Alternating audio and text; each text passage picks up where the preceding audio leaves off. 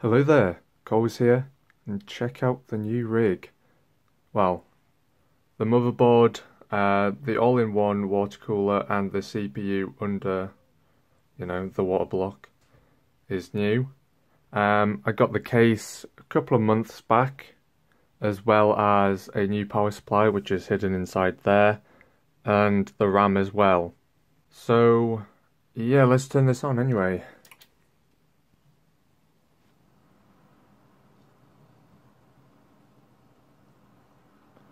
Lol, it would be funny if it didn't come on. Here we go. Alright, so now you can see the lights and stuff have come on as I've turned on. These are like the default settings. Um, they just kind of switch between modes, they like cycle through. So at the moment the all-in-one water cooler is just like fading between each colour. And then same with uh, the RAM, but it has like several colours on at a time, it's kind of rainbowish and yeah and then the motherboard's just switching between colours also as you can see. It's really cool. Alright so we can open up Aura Sync which is like the software to sync all the RGB in here. Oh yeah I should mention there's also RGB on the front here but that is controlled with this controller. So you can change it to green or red yellow, orange, blue, white. I'll put on uh, different modes, which is pretty cool, and you can click that to change which mode. And there's a variety of different ones.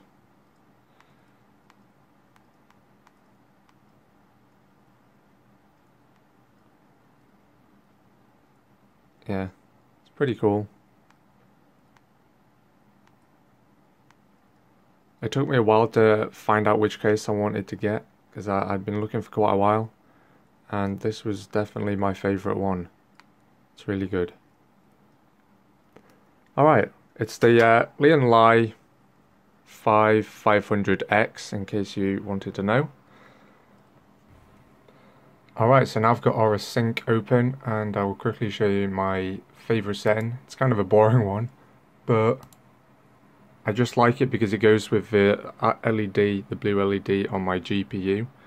So I think it looks pretty good. And then you make the front blue as well, and you just get an all blue LED PC. Just, it just looks great.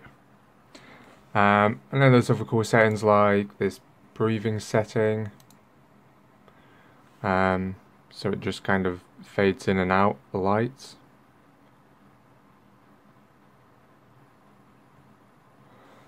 Then there's colour cycle, which if you apply, it just cycles through all the colours.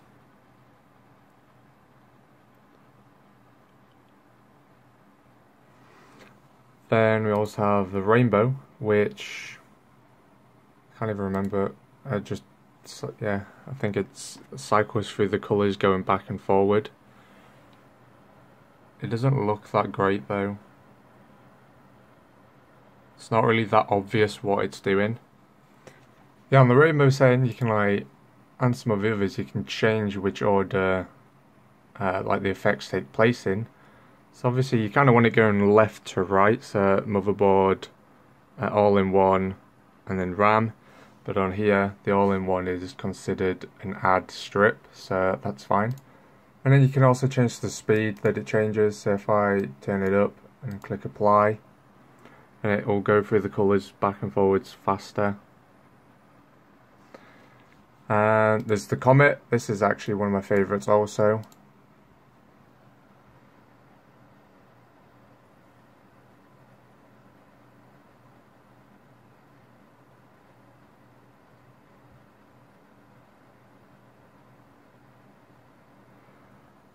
Um, so I did actually record like, the whole build process on my GoPro. But then for some reason I just can't import the files and it just keeps it's just really shit. So I decided that I'm not gonna, you know, do that video. So I'm just doing a quick little video showing you the new PC basically. Uh, so this is Flash and Dash, this mode I'm on currently. Doesn't really do much. Let's wait for it.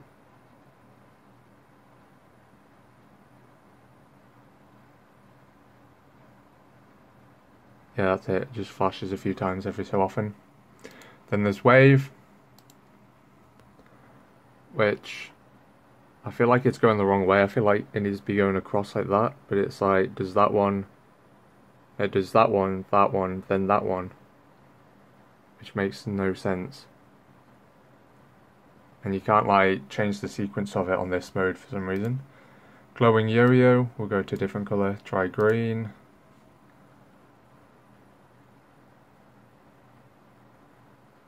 I mean, they're kind of similar.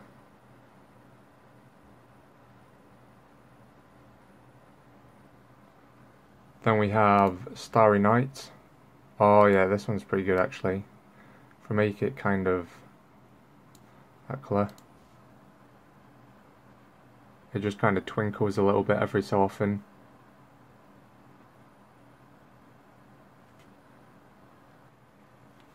It might actually look good in like a kind of yellowy colour. Perhaps. That kind of look like stars? I don't know. Probably not because it's too yellow. Maybe, I wish it was more of like a, a white colour. But I think that looks pretty cool anyway. Um, the next one is strobing. I always forget what this one is. Go, let's go for red this time. Apply. Oh, so just switches between which things lit up. And I always forget about the lights under here on this part. And there's also the lights on the RGB. Not the RGB. the lights on the uh, M.2 socket thing there. There's like underneath it. Um, and then we also have Smart. So this one's actually pretty cool. So it changes depending on the temperature of the CPU, I believe.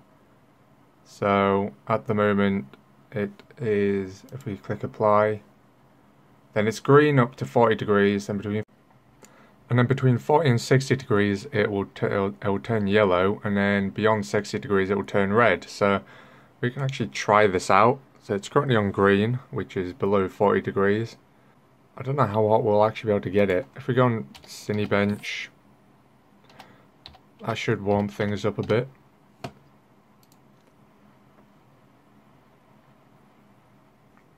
Alright, and we'll run a quick test. See what colour the lights turn. Okay, so they've gone yellow. So we're above 40 degrees.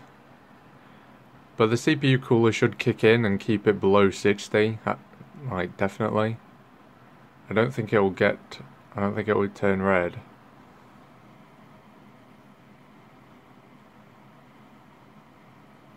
So my old CPU is there, it's the i5-6600K.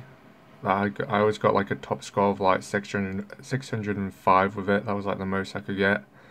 But that wasn't overclocked though. Well, neither is this yet.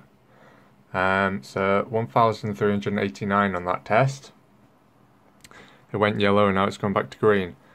But if we, what we could do is actually change that to 40. Change the top one to 30. Apply.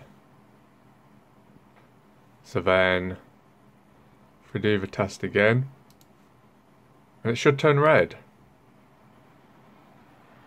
There we go, it's gone red already. Because we're above 40 degrees.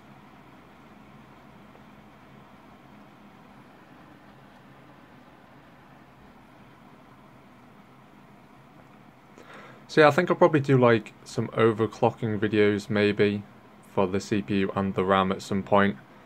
And do some more like benchmark tests and things like that. I find it pretty fun to do to be honest. Alright, so that time we got a little bit higher, 1394. Alright, so we don't need that anymore. Save, save, whatever, yes.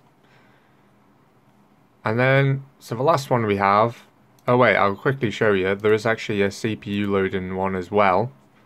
So, depending on like the percentage of CPU that's like being used, will depend on you know what colour it is. So, forty percent CPU usage, it'll be it'll turn yellow, and it gets to sixty, it'll turn red.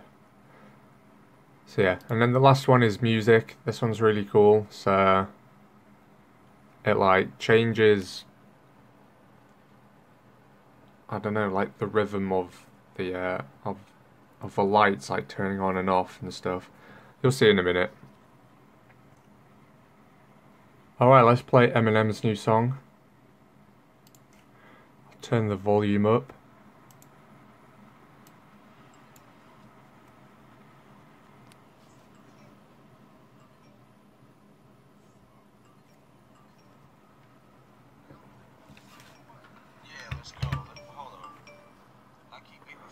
I'm gonna move it. I'm gonna fast forward it a bit and put it later in the in the. Yeah, it's a really cool feature. The Aura Sync is pretty good, but the software is quite glitchy, which is a bit of a problem. Um, so yeah, I'm really pleased with the build.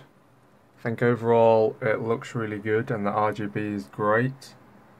Uh, in terms of the new parts, the all-in-one cooler here, I think it looks really good and it's really good build quality as well, as well as the fans and the tubing, basically the whole thing. And it, and it seems to perform pretty well as well. You know, it's it's keeping the uh, the temperatures down. I wouldn't say it's the best cooler there is, but you know, it'll definitely do, and it's definitely, you know, you can definitely overclock with it and stuff like, like that. Um, the motherboard as well, the ATX, I think it was the Maximus X Hero. Looks really cool as well. It's got the RGB parts, and like there.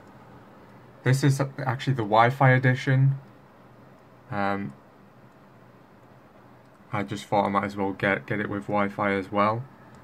And you get three PCI X16 slots, which could come in handy because it comes with an SLI bridge but I don't know whether I'm going to make use of that yet. It's got two M.2 slots, the one right in front, well on the camera now, and then one under the Republic of Gamers, uh, that metal bit there.